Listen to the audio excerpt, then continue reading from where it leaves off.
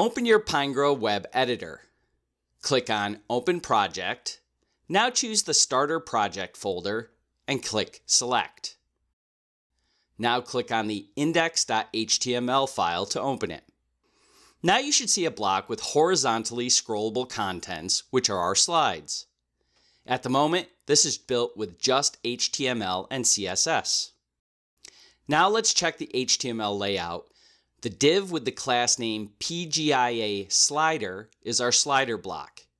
It has three main child blocks with the class names PGIA slides container, PGIA controls, and PGIA progress.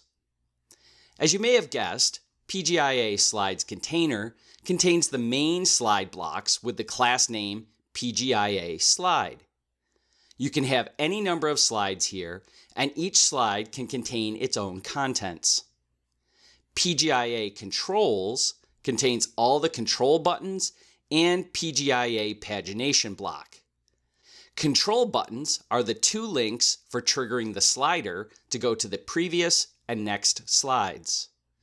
And PGIA pagination block has only one item initially.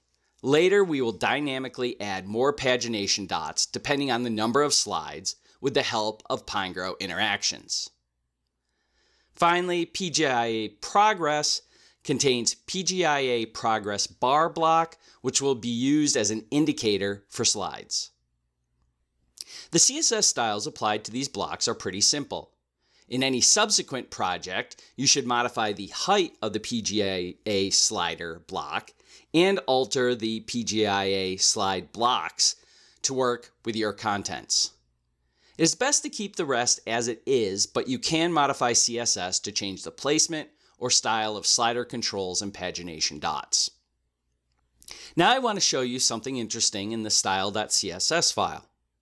In the project panel, click on the CSS folder, then click on the style.css file and it should open in the code editor. Now if you check the code, class name PGIA slides container has overflow hidden so that the scroll bar will not be visible but this prevents scrolling with touch gestures on touch-enabled devices. So, we use the media query any pointer coarse to set the overflow to auto for devices with touch pointers. We also have a neat trick that makes it easier to edit the slider in Pinegrow.